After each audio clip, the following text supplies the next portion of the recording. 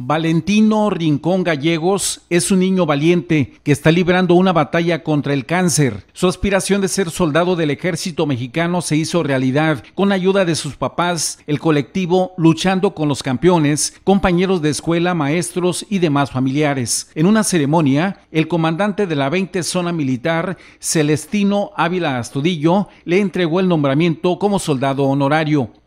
Muy bien, está muy padre la ceremonia. ¿Te gustó? Sí. ¿Qué sientes portar el uniforme de soldado, de militar?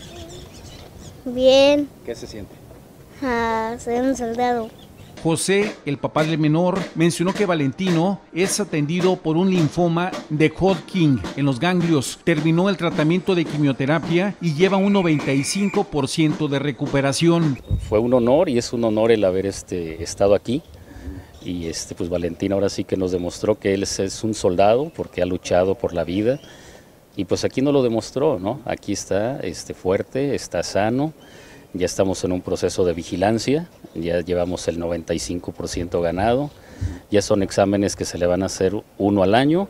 Y pues aquí estamos luchando y siguiendo adelante. Sí, sí, ya dos años llevamos luchando, él se le detectó un linfoma Hopkins, estadio 3, y este, pues ya dos años de lucha, de medicamentos, se ha internado, pero pues aquí está luchando y ya nos ha demostrado pues que podemos y vamos adelante.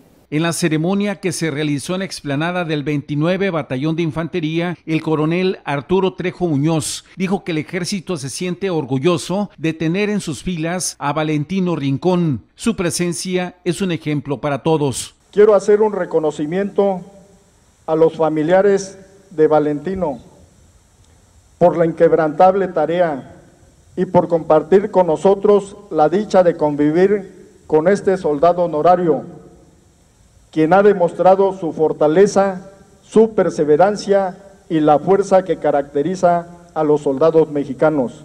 En honor a este nombramiento como soldado de este pequeño que está por iniciar el tercer grado de preescolar, una cuadrilla del ejército realizó un desfile de honor.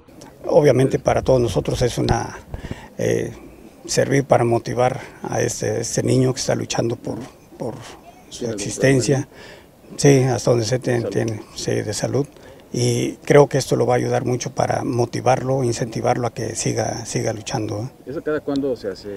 Es un, no, es permanente, es, es permanente, el programa es permanente, esta es la segunda ocasión que lo realizamos aquí en, aquí en Colima y yo estimo que lo vamos a seguir este, haciendo eh, en lo sucesivo. Valentino Rincón Gallegos estará en observación durante cuatro años después de varias sesiones de quimioterapia. Cabe destacar que su recuperación ha sido satisfactoria y existe optimismo de sus familiares de que pronto vencerá totalmente la batalla contra el cáncer. En abril del año 2017, la niña Victoria Zamora Gaitán del municipio de Cuauhtémoc recibió también el nombramiento como soldada honoraria. Su enfermedad estaba más avanzada y desafortunadamente falleció el pasado fin de semana. Noticias 12.1, Marcos Rivera.